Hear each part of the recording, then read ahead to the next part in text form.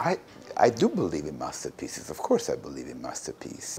I believe in masterpiece because I believe in art, because I believe in expression, because I believe in the ability of a, of a, of a person, of, a, of an artist to uh, coagulate something that is an idea of, uh, of art, an idea in, in, in whichever field. What are the qualities of the masterpiece? For me, the quality of, of true artwork is uh, one that goes very, very, very deep into a very personal uh, research, into a very personal investigation, into a very personal questioning that then becomes an obsession. You know, the most interesting artists that we always look at are artists that have basically done the same thing over and over and over again.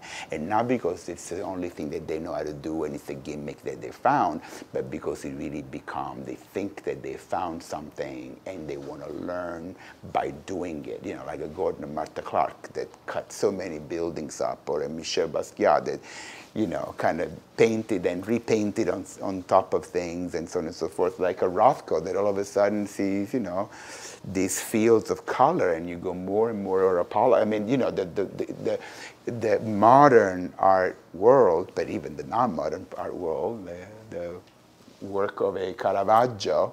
So, you know, they, they're, they're, uh, and the masterpiece probably is the, a work, a piece of work of that one architect or artist or musician or film director that really has a lot of that meaning, a lot of very strong expression of that one thing, of that one obsession that somebody is really, really, really working on. Um, so I do believe in, in masterpieces, absolutely.